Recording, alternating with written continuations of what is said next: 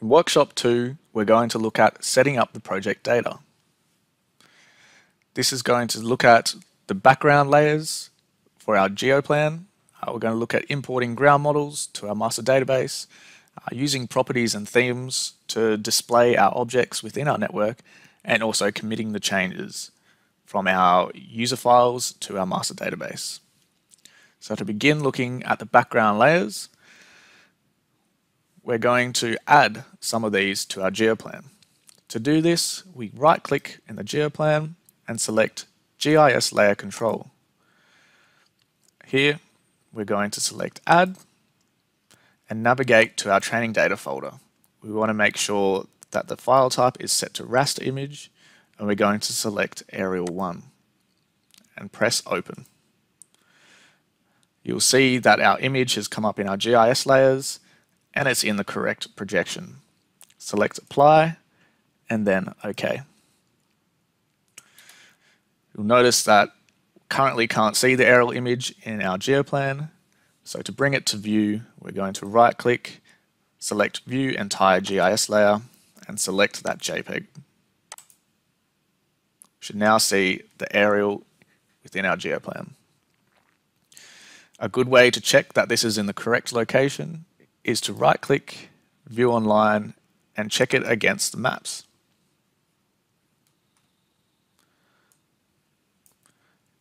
You can see Google Maps is now displaying the object where I clicked to view the map.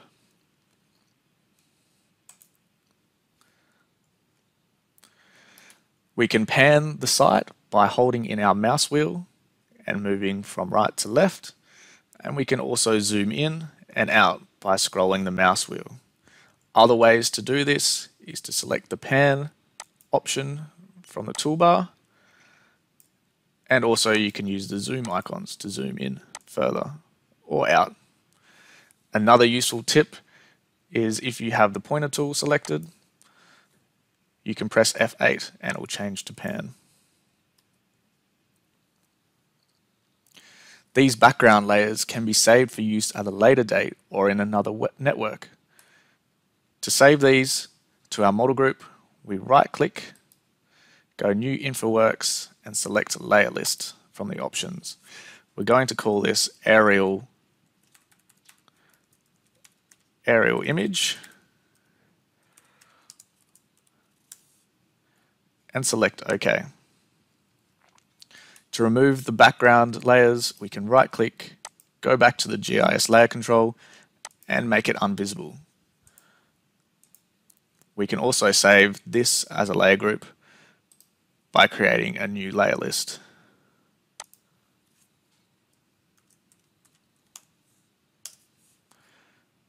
To get the image back, we can just drag on our layer list. Importing ground models can be very useful for looking at and interrogating our data. We can also be particularly useful for looking at the topography definition or also seeing if there are any bridge openings. To bring in some ground models, we right click on the model group, we go import InfoWorks, ground model grid, and we're going to select LiDAR files from a ground model folder we're going to go through our data folder and we're going to select our one meter folder. This is the folder that contains our LiDAR grid files. Select the folder. We're going to give it a name to our ground model.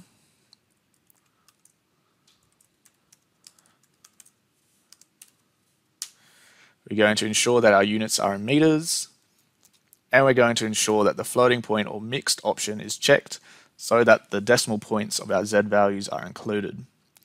And let's click OK. This may take a few moments for the ground model to load.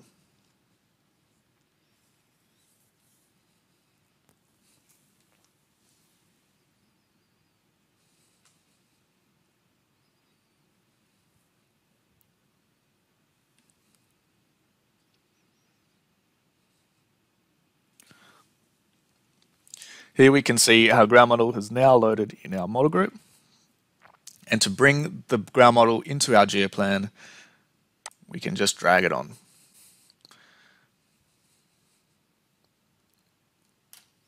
We can also view our aerial image draped over this ground model by selecting the new 3D network window.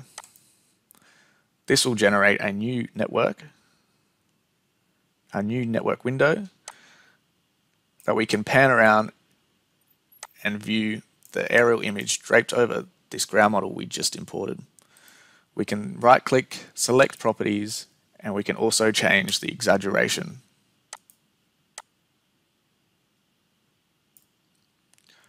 Right click to close out of the 3D window. We can also clear ground models from the geoplan by going to Network and Clear Ground Model. A significant proportion of the GeoPlan functionality originates from GeoPlan Properties and Themes dialog box. Here, we can assign properties to various assets and we can alter and also create new subthemes. We're going to bring back the, geo, uh, the ground model into the GeoPlan and we're going to look at creating a new theme. To bring up the properties and themes, we right click on the geoplan and navigate down to properties and themes. We're going to go to the visual tab and tick on show ground level flood depth 2D depth. We're going to apply and we're going to save as a default for this network.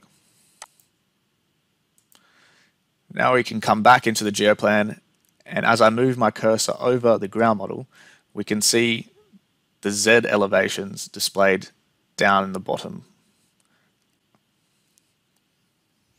To change the color of the ground model or how it's represented, we right click again, go back to properties and themes. Under the objects layer, we're going to scroll down to ground model and select edit under theme. Here, we can alter the way the ground model is viewed. We're going to change it to transparent we're going to add a few more values and we're going to define the range of which these values are shown. We can cycle through different scale types and we can also change the colors.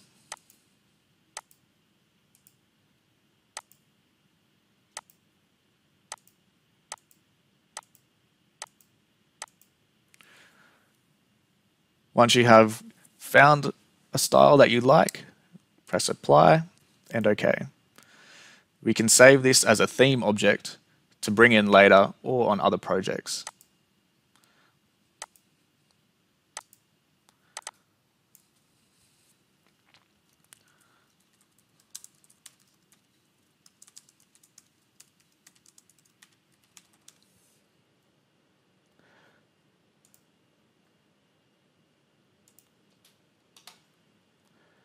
And OK.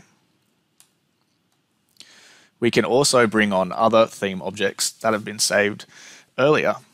We're going to bring on the RAFTS hydrology theme into our geoplan. You will notice a change in the ground model definition. Lastly, we're going to look at committing the changes uh, to our master database. Every time there's a change in the network, and we commit this, a new version of the network is created. We can view these versions under the show commit history found under our uh, network and version control menu. So to begin committing the changes to our master database, we're going to right click on our network and we commit the changes to master database. Another way to do this is by selecting the commit changes icon in the toolbar. It is a good idea to give a good description in the comments.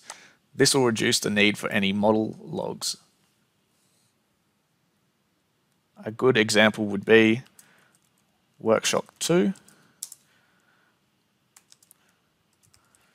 Setup, geoplan, and background data.